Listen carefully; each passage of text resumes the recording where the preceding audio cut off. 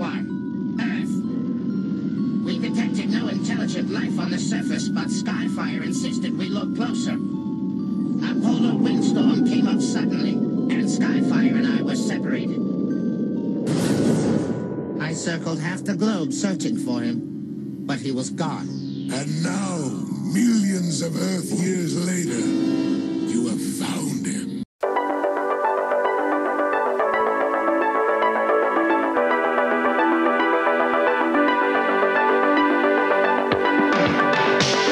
Jon here, guys, and today we're talking about the Emax Tiny Hawk 2.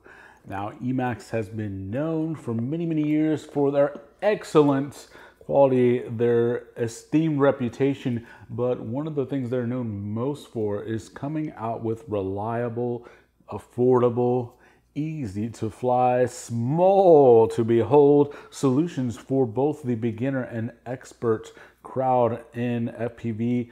Um, if you were learning to fly a drone for many, many years, Emax was your place to go. And going into 2020, the Emax Easy Pilot Ready to Fly kit is my recommendation for you. But once you have graduated from that kit and you want something uh, a little bit more robust, a little bit more capable, a little bit more speed, this is the latest iteration um, of their Tiny Hawk line. And is the sequel as good as the original? Well, it does make a round of improvements uh, throughout the quad as well as the kit that it comes with. Um, Emax is still using this beautiful hard, um, sort of a hard slash softish case that keeps the uh, quad quite safe. It has plenty of room to store lots of extras. It comes in the package with some actually very good directions. It has, um, you know, it's not a giant encyclopedia. You don't need that. All it shows you is how to bind, how to change your channels, and a few other things. And it is very clear. When I went to go figure out how to bind this thing, I was able to look on here for 30 seconds and knew exactly what I needed to do. Very easy. Good job, guys. It comes with an extra set of these four bladed props. That's right. These are the Tiny Hawk V2 props that allow you to turtle mode. Of course, your Emax stickers. Uh, it comes with two different batteries. It comes with a two cell 300 milliamp battery and it comes with a one cell uh, 450 battery. And that is the same battery that it shipped with the original Tiny Hawk. Now, in addition to that, you also have um, this charger. This allows you to charge two 1S batteries or two 2S batteries at the same time. Um, it's very nice. It has a signed Emax uh, emblazoned logo on the bottom. Very nice. Plugs directly into USB. And then there's just a few little extras in the box. An extra pigtail, two of the extra little rubber bands that you use to hold your battery on, some little extra screws, and a tiny, tiny little screwdriver. Awesome. Um, so, what are the improvements here? Over the original Tiny Hawk? Well, there are quite a number uh, to choose from. Um, first of all, they have um, used a sort of similar reminiscent design, but it's been beefed up um, so that it is actually stronger. It still has that same great flexibility. It has this very light, sort of soft but rigid enough to still fly very well in the air plastic that can bounce off your wall without leaving a mark. Very key. Um, the weight does move up just a little bit on this. Uh, it comes in at 31 grams, so that's about 10 grams heavier than your standard Tiny Whoop and just a few grams heavier than the original um, Tiny Hawk. Now it still uses a prop down um, design here. That really allows you to have some great flight feel in a package this small. You really usually can't get um, a feel like this in something this small and this light that's safe to fly in your house. Uh, it has an adjustable camera mount. Finally, look at that cool thing. It looks almost like uh, it looks like a character on some sort of a cartoon show with this cool little fin at the top, almost like the Rocketeer or something. Um, in addition to that, um, the camera is absolutely upgraded. This is using the Runcam Nano 2. Now that has been my favorite camera for micros and 5 inch. My most used camera of 2019 and going into 2020, it is still an excellent option. Um, it only costs you about 16 to $20. Uh, has the same sort of a D8 style receiver. You can um, hook it up to D16 using the FrSky X protocol. I did that at first, but range was absolutely abysmal. I was barely able to get 15, 20 feet away before I was out of range. So if you don't have a radio that can do the D8 protocol, I'm using the Jumper T16, of course. So I was able to switch over to that protocol, no problem in a matter of seconds. And then it is quite usable. Um, one other cool addition are these little light up LEDs, and as you engage the motors and and uh, engage your throttle, the LEDs will shine more and more brightly. Really, really cool. It is using a version of the same motors on the original Tiny Hawk, an 0802.5 uh, Tiny Stator motor uh, this time they've lowered the KV down to 16,000. What that does with the four-bladed props is give you some really great handling and control on 1S when using the smaller battery for indoors, but it still uh, will allow you to have 2S power without having the KV too high.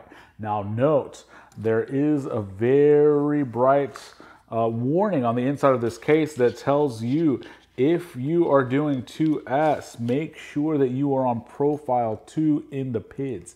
That's right, they have come out with a specialized tune for running two cell batteries.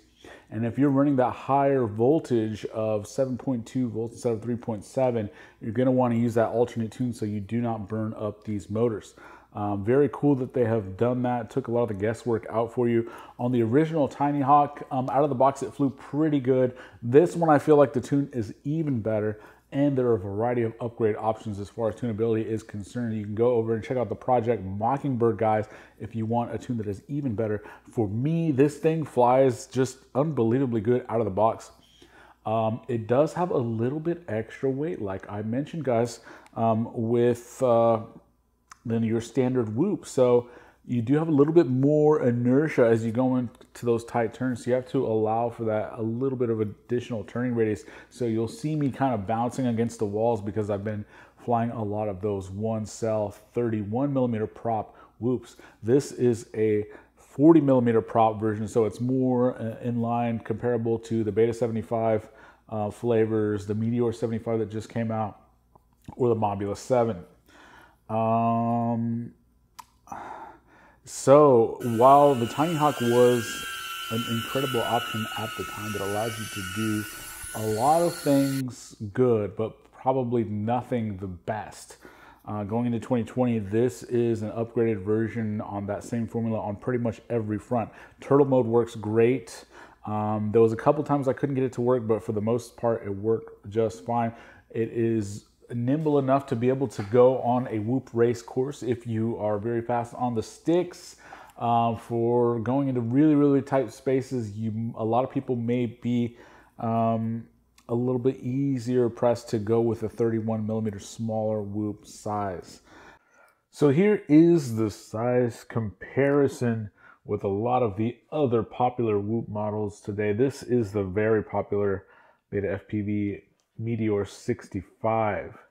And as you can see, it is a lot smaller, this being a 65 millimeter size craft that uses 31 millimeter props, this being closer to a 75 millimeter craft that uses 40 millimeter props. This comes in at a weight about 22, 23 grams. This comes in right about 30, 31 grams. So it's almost, uh, it's quite a bit difference, right? So, why is it that for me personally, I can fly the Tiny Hawk 2 through a lot smaller gaps more reliably? This thing has so much power, so much punch. It's just a little bit more difficult to control it uh, out of the box. Now, you can put a lot of different tuning on both of these and make them both fly well. So, this one's 22.7 grams, the Meteor 65 and then the Tiny Hawk 2 is 31.4 grams. So almost a 10 gram difference. Uh, and then here is my custom whoop that I made that I fly. That comes in at 23.9 grams. So that's pretty heavy. This is 0803 motors. This is a brush whoop. I'm going to have a review on this very soon. That is 25.4 grams. So that's even That's like right in the middle. This also flies very good. This is a silverware, very basic. This is only 45 bucks, but you need a jumper to fly it. So, where should you put your hard earned money? Well, a lot of people will kind of comment on the fact that the Tiny Hawk 2 should be able to fly outdoors great on 2S, and it does come with that 2S battery. But to be honest, I really was not that impressed with the 2S performance. Um, the battery performance of this on 2S is very similar to this on 1S. It just sags immediately. It doesn't last very long. Um, flying how I like to fly outdoors, I was probably going to get 60 to 70 seconds. So not a lot of flight time. I really prefer the way this thing flies. Um, indoors on 1S, much, much better. The battery holder worked perfectly. These downward facing props really do give you a great amount of control. So you have a lot more control than you should have for something this large. And some of those maneuvers, like where I go through four or five chairs at a time, I really struggle to do that maneuver with this thing. Now, granted, if I put Project Mockingbird on here, it would make it much closer. Um, but uh, this really does have some great versatility, and the flight times on this were really, really good. I also really like that you have an adjustable camera angle so you can adjust it quite low for flying indoors or crank it up if you really want to push the speed. Um, now note, there are a lot of informal tiny whoop races that go on in my town. I really hope to join those guys pretty soon. But in some of the official tiny whoop style races, something of this size may not be allowed. Some races it is, some races it's not. Some people feel like this exercise give you gives you an unfair advantage. Now with these powerhouses, I would think that the speed of these two in a straight line are going to be very close. This thing is super powerful, but I just didn't have, feel like it had that much control out of the box. So I think I'm going to make a few adjustments to this, um, put a better tune on here, and then come back to the drawing boards. Um, so who is this for? The 2S outside is fun. It's more power, but it is not as much power as say like I don't know, guys. It's really hard. After flying all these toothpicks, do you really even want to fly something like this on 2S outside? Uh, I do appreciate that it has the prop guard. So if I had to fly it around, like you know, on a playground where there was you know kids playing around, my nieces or nephews or whatever playing around, I would probably pick this just because it's a little safer. You don't need that extra speed. But for almost anything else, you probably want to go with a standard toothpick. For indoor only, you probably want to go for something 31 millimeters. I do like that this little battery holder on the underside can accommodate the 1S or the 2S batteries perfectly. Also like that they have the battery going across um, horizontally as opposed to up and down. That really gives you an excellent weight distribution. It makes this thing, along with the um, props pushing down, able to handle much better than almost anything else in this size category.